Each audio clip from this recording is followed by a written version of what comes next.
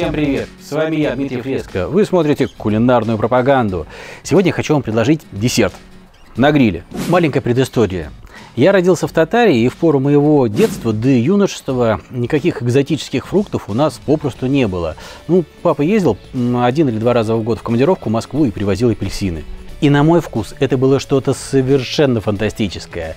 В 17 лет я поступил в Москву и с тех пор обитал в Москве. Таким образом, я пожил и в СССР, Татария превратилась в Татарстан, я застал ГКЧП и даже собирался защищать Белый дом, но опоздал. Э, ехал на поезде буквально на два дня. Я помню совершенно пустые полки магазинов и гораздо более позднее изобилие. Как-то еще студентом ехал на поезде домой на каникулы.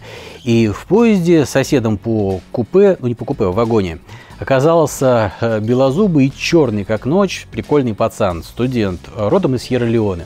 Так вот, он поведал о своей бизнес-идее. Он хотел поставлять в СССР ананасы и мотивировал свой бизнес-план тем, что где в России продаются какие-то невкусные, потому что кормовые, а вот у них там в Сьерра-Леоне растут какие-то совершенно невообразимо потрясающие. Гораздо позже, уже став отцом троих детей, я в Москве периодически покупал ананасы. Ну, один раз в год, может один раз в два года. Пробовал и пожимал плечами. Ну, ничего особенного, апельсины лучше.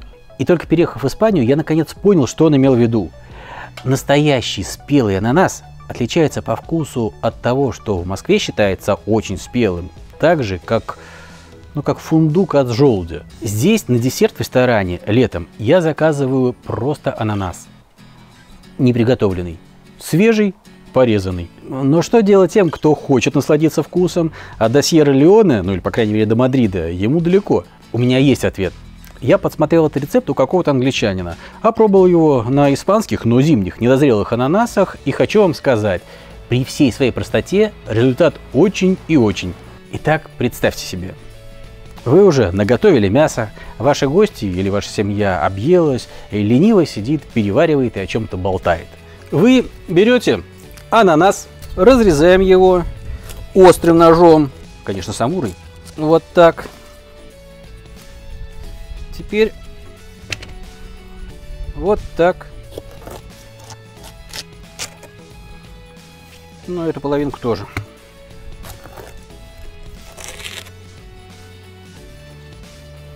Теперь делаем так.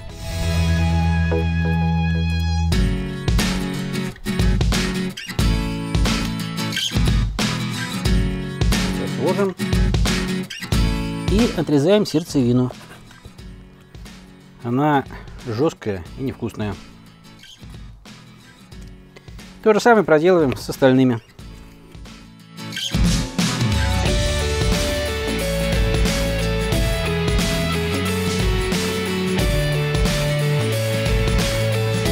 А теперь маленькое отступление. Ананас хорош сам по себе, но только в том случае, если он спелый. А если он немного недозрелый, то в нем маловато и сладости, и яркости, и вот такой характерной едкости. Конечно, можно накрутить всякого, там добавить мороженого, шоколада, меда, там еще черт знает чего. Но будьте проще. Давайте попробуем выжать из ананаса все, что он может дать, используя минимально необходимое и достаточное количество продуктов. Лайм даст яркость, кислинку, мощный цитрусовый аромат. Коричневый сахар добавит недостающей сладости.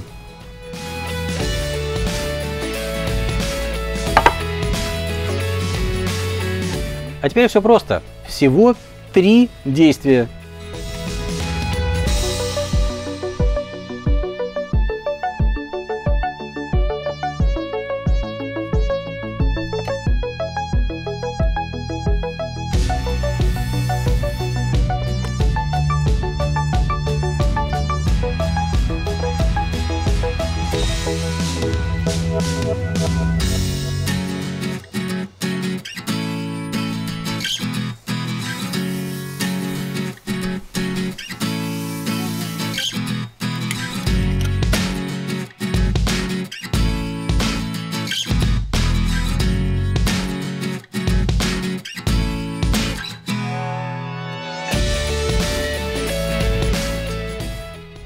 А для красивой подачи и для удобства поедания стоит разрезать. И можно удивлять гостей.